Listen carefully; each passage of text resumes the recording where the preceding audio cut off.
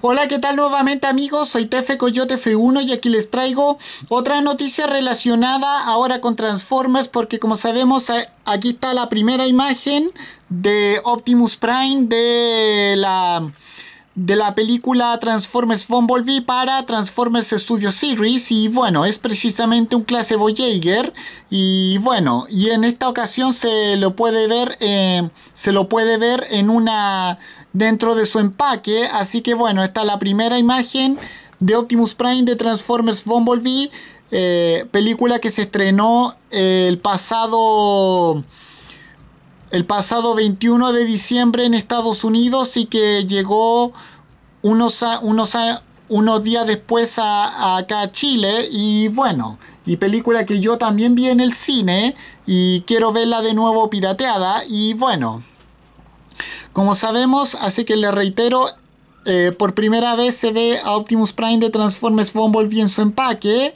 Y bueno, con esto me despido. Nos vemos. Adiós. Que fuera. Chao.